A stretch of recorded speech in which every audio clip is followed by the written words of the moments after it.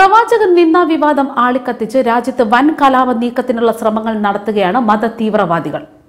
റാഞ്ചിയിലാണ് സംഭവം. വെള്ളിയാഴ്ച നിസ്കാരത്തിന് പിന്നാലെയാണ് മുസ്ലിം വിശ്വാസികളുടെ വൻ പ്രതിഷേധം നടന്നിരിക്കുന്നത്. അക്രമാസക്തരായ മതമൗലികവാദികൾ ക്ഷേത്രത്തിന് നേരെയും പോലീസുകാർക്ക് നേരെയുമാണ് കല്ലേറ് നടത്തിയത്. ഈ ആക്രമണത്തിൽ നിരവധി പോലീസുകാർക്ക് പരിക്കേറ്റു. കലാപശ്രമത്തിനിടെ തീവ്രവാദികൾ മഹാവീർ ക്ഷേത്രത്തിന് നേരെയാണ് കല്ലെറിഞ്ഞത്. ക്ഷേത്രത്തിന് സമീപം പൂജാ സാധനങ്ങൾ വിൽക്കുന്ന കടകളും അക്രമികൾ അടിച്ചു തകർത്തു. മതമൗലികവാദികളുടെ ആക്രമണത്തിൽ നിന്ന് രക്ഷപ്പെടാൻ ആളുകൾ ക്ഷേത്രത്തിനുള്ളിൽ അഭയം പ്രാപിച്ചതാണ് അക്രമികളെ ക്ഷുഭിതരാക്കിയത് ആയിരത്തിലധികം കടകളാണ് അക്രമികൾ നിർബന്ധിപ്പിച്ച് അടപ്പിച്ചത്. അക്രമികളെ നിയന്ത്രിക്കാൻ പോലീസുകാർ ആകാശത്തേക്ക് വെടിവെച്ചു. അക്രമം ശക്തമായതോടെ റാഞ്ചിയിൽ കർഫ്യൂ പ്രഖ്യാപിച്ചു കഴിഞ്ഞു.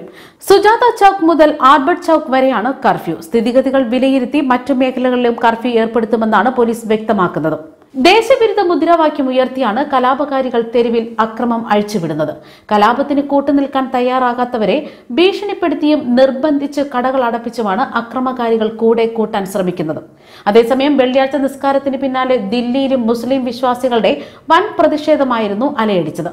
ബി ജെ പി മുൻ നേതാക്കളായ നുപൂർ ശർമ്മയും നേതാവ് നവീൻ കുമാർ ജിൻഡാലും പ്രവാചകൻ മുഹമ്മദ് നബിക്കെതിരെ പരാമർശം നടത്തിയെന്നാരോപിച്ച് ഡൽഹി ജുമാ മസ്ജിദിൽ വെള്ളിയാഴ്ച നിസ്കാരത്തിന് പിന്നാലെ വലിയ തോതിൽ വിശ്വാസികൾ സംഘടിച്ച് സംഘർഷം നടത്തുകയായിരുന്നു.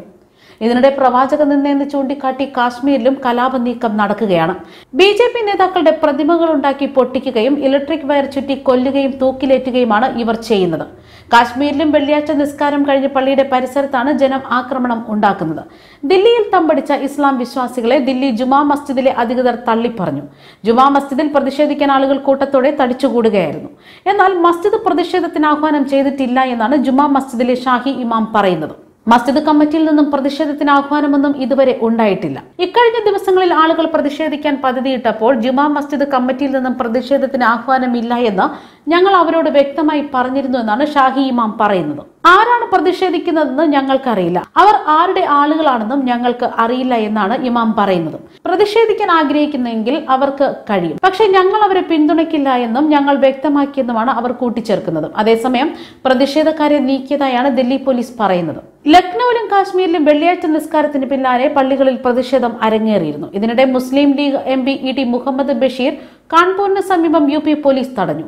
കാൺപൂർ കലാപ സാധ്യത ഉള്ളതിനാലാണ് ഇ ടി മുഹമ്മദ് ബഷീറിന്റെ കാൺപൂർ യാത്രയ്ക്ക് പിന്നിൽ പ്രത്യേക ലക്ഷ്യമുണ്ടായിരുന്നു എന്ന രഹസ്യ വിവരത്തെ തുടർന്ന് യു പി പോലീസ് തടഞ്ഞെന്നാണ് റിപ്പോർട്ടുകൾ. വ്യാഴാഴ്ച അർദ്ധരാത്രിയാണ് ഇ ടി കാൺപൂരിലെത്തിയത്. മുഹമ്മദ് ബഷീറിനൊപ്പം ലീഗിന്റെ ഉത്തരേന്ത്യയിലെ ചില പ്രാദേശിക നേതാക്കളും ഉണ്ടായിരുന്നു. പ്രവാചകനെതിരെ പരാമർശം നടത്തിയെന്ന് ആരോപിച്ച് വലിയ കലാപമാണ് കാൺപൂരിൽ നടക്കുന്നത്. കാൺപൂരിൽ അതിന്റെ അലയൊലികൾ ഇപ്പോഴും അടങ്ങിയിട്ടില്ല. വെള്ളിയാഴ്ച തന്നെ ഇ ടി മുഹമ്മദ് ബഷീർ കാൺപൂരിലെത്തി കലാപകാരികളെ സന്ദർശിക്കുന്നതിൽ ഗൂഢലക്ഷ്യമുണ്ടെന്നായിരുന്നു യു പി പോലീസിന് ലഭിച്ച രഹസ്യ വിവരം തുടർന്നാണ് കാൺപൂരിലെത്തിയ പോലീസ് ഉടൻ എം പിയെ തടഞ്ഞത്. News desk Karma news.